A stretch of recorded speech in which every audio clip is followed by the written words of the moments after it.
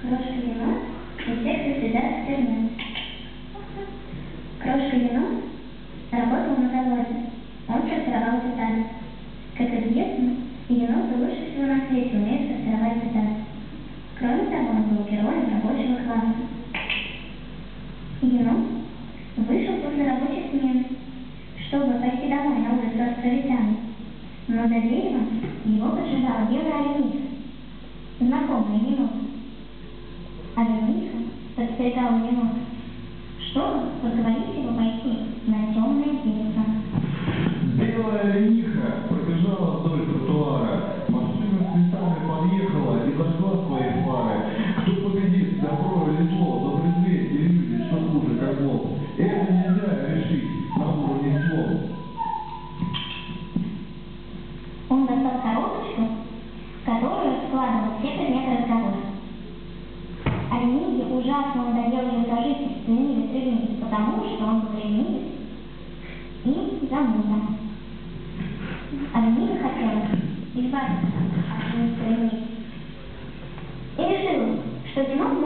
разозлить его.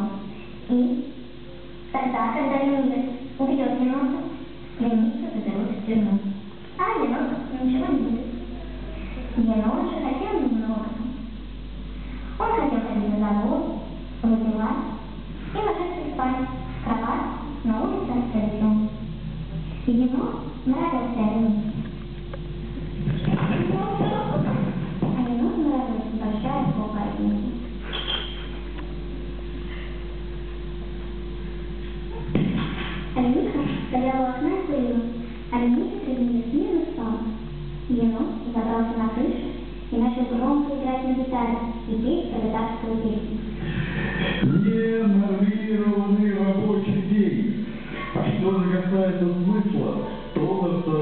В суете.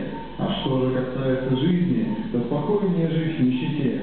А что же касается счастья, то мы у него на хвосте. И вот вам отсюда мораль. Никогда не работайте. Ленивец Ленивец был взбешен таким пробуждением. Он выскочил на крышу и стихнул енота вниз. Енот упал и умер. А проходивший мимо начальник тюрьмы заметил, что, что сделал Ленивец, и посадил его в тюрьму.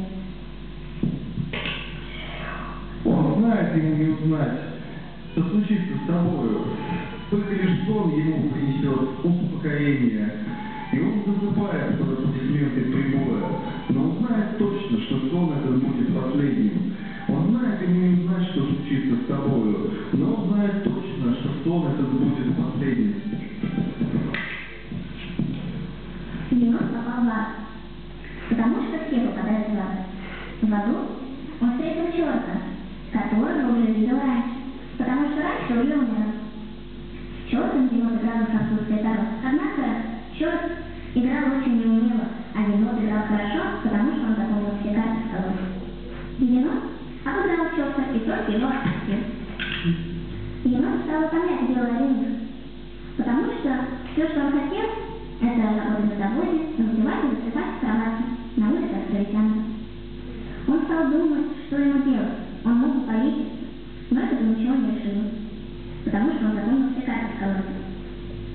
Поэтому он решил с Ленихой поступить так же, как и с Ленихой. Енот припрятал вечером большой нож в кустах, пока его не видела Лениха. Он не заметил, что за ним наблюдал стегозавр, которого никто не видит. Когда наступила ночь, все Алинка заснули, енот заколол себя так, чтобы все подумали на Алинку. Рядом оказался начальник тюрьмы, который заметил кровь и заинтересовался. Начальник тюрьмы посадил белую Алинку в камеру с ленивцей Ленивцем.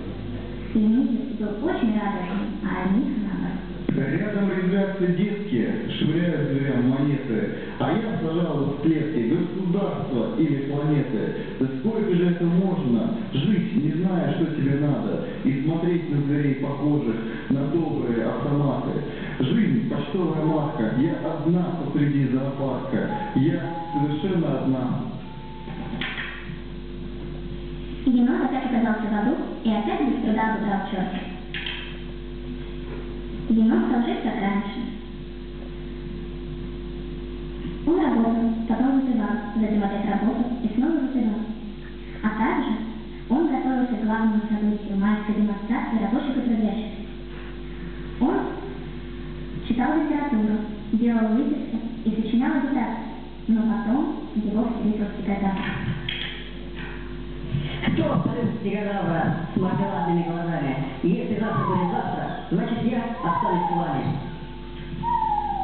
Стегозавр видел, как енот подстроил свое убийство, чтобы избавиться от Реми. Он же пришел только потому, что был очень, очень старый и медленно соображал. Стегозавр хотел, чтобы енот отправили в тюрьму за совершенное преступление. А енот не хотел, ведь скоро должна была быть майская демонстрация, которой он долго готовился. Стегозавр предупредил енота и ушел настоять. Тогда енот пошел к своему другу, красному коду Жильба. Они долго думали, как не спасти и майскую демонстрацию. Они выпивали, ели лук и думали над этим, пока их не снилось. Красный кот Жибас избавит землю от предательских оков. Красный кот Жибас избавит землю от богатых мудаков. Красный кот Жибас разрушит славный весь кострой, выпьет водки и вернет мою любимую домой.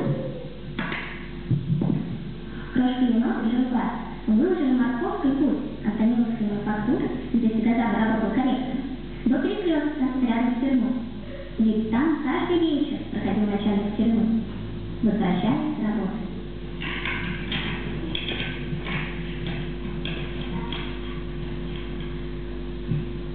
Их план удался, и увлеченный морковкой Стегозавр не заметил начальника и наступил ему на ногу. Я стрелял из рогатки насекомым, крушил черепа котам. А как только расстался с родительским домом, поступил к собратьям, к ментам. Сперва меня взяли на стажировку, потом в постоянный штат. И теперь мне хватает на пост и зубровку. Я глушу водяру как гад. И я знаю, что если где-то упадок, его надлежит нам стереть. Мы сеем добро и правопорядок, а пожинаем смерть. Смерть. Я встречаю реальность ударом в морду, мой кумир капитан Жиглов. Я лучший мент образцового города, и вам не сносить голов. За это его посадили в тюрьму, которая была очень маленькая. И посадили в Стегозавра, которого никто не любил, вместе с ленивым ленивцем и белой ленивцем. Они уже помирились и стали жить в тюрьме душа в душу. Стегозавр был грустный. Единоженцы с Жильбасом решили отметить удачу. Они ели лук и тарань, пили и пили, и чудесно проводили время, пока енот не поперхнулся тарасью и умер. Енот снова очутился воды. Но в этот раз его ждали неприятные известия. Знакомая ему колода карт совсем истрепалась. И черт сообщил, что уже заказал новую. Енот подумал, что ему не следует больше умирать, ведь тогда он может уже не обыграть черта.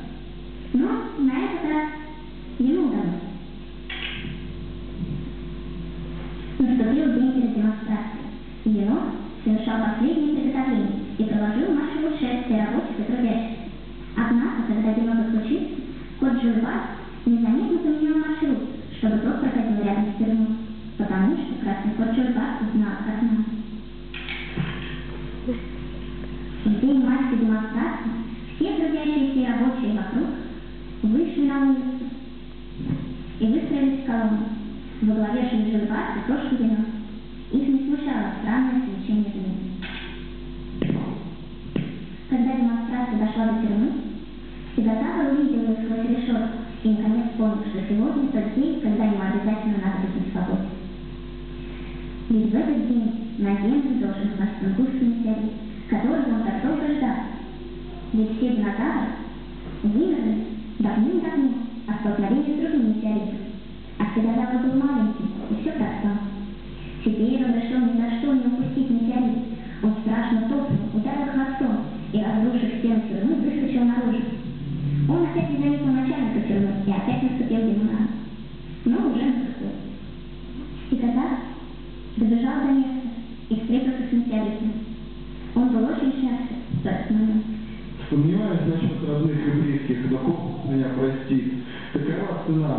компромисса. Я тунгусский метеорит.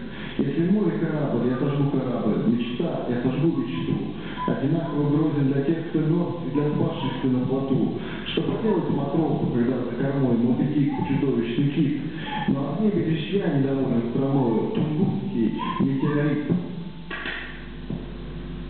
Ночью зажег факел от огня метеорит и повел за собой освобожденных зверей, а также рабочих и трудящихся. А начальник страны так и остался с ним, потому что это его работа, и потому что у него не было ног.